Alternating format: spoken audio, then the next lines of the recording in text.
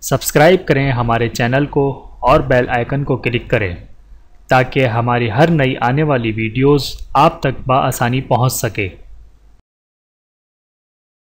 بسم اللہ الرحمن الرحیم۔ حضرت علی رضی اللہ تعالیٰ عنہ سے روایت ہے کہ حضرت محمد مصطفیٰ صلی اللہ علیہ وآلہ وسلم نے ارشاد فرمایا، جب شعبان کی پندرہویں شب ہو تو رات کو قیام کرو اور دن کو روزہ رکھو۔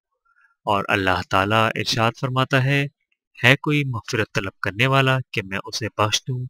ہے کوئی رزق مانگنے والا کہ میں اس کو رزق دوں؟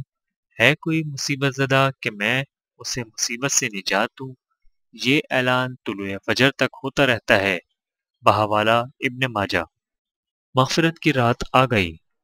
حضرت ابو بکر صدیق رضی اللہ تعالی عنہ سے روایت ہے کہ نبی کریم صلی اللہ علیہ وآلہ وسلم نے فرمایا شابان کی پندرہویں شب میں اللہ تعالیٰ آسمان دنیا پر اپنی شان کے مطابق جلوہ گر ہوتا ہے اور اس شب میں ہر کسی کی مغفرت فرما دیتا ہے، سوائے مشرق اور بغض رکھنے والے کے۔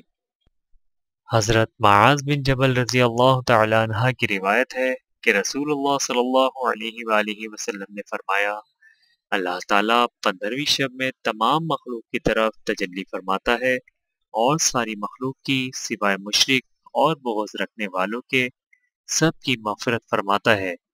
بہوالا صحیح ابن حبان۔ ویڈیو دیکھنے کا بہت شکریہ۔ مزید ویڈیوز دیکھنے کے لیے ہمارے چینل کو سبسکرائب کریں۔ اگر ویڈیو پسند آئے تو لائک کریں۔ اچھی بات کو دوسروں تک پہنچانا صدقہ جاریہ ہے۔